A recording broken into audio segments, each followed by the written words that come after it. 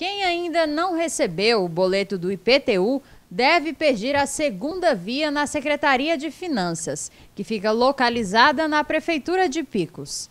O pagamento deve ser efetuado para que sejam evitados constrangimentos, como, por exemplo, a emissão de uma certidão negativa. Se quer uma certidão negativa, ele terá direito é, junto à Secretaria Municipal de Finanças. Então, para evitar esses constrangimentos, se faz necessário que, ele, que todo mundo pague, tenha essa consciência que o IPTU, o pagamento do IPTU será revestido em melhorias para o município. Então, é uma forma do da população estar cobrando também seus direitos a partir do momento que ele está realmente cumprindo com seus deveres, que é pagar todos os tributos necessários. A primeira parcela do IPTU venceu no dia 31 de agosto. A segunda vence no dia 31 deste mês e a última em 31 de outubro.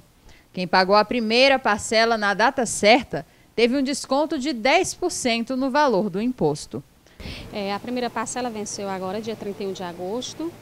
É, Para quem realmente optou em pagar a parcela única, com 10% de desconto. E quem optou para parcelado, vai a primeira parcela 31 de agosto, setembro e outubro.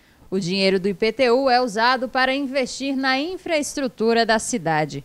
Com o pagamento do imposto, o cidadão tem o direito e o dever de cobrar do poder público o andamento das obras. É, mas a gente chama a atenção dos contribuintes, de toda a população que possui imóvel urbano, é, que se porventura até essa presente data não tiver chegado o boleto do IPTU em sua residência, que procure a Secretaria Municipal de Finanças para a gente estar emitindo uma segunda via.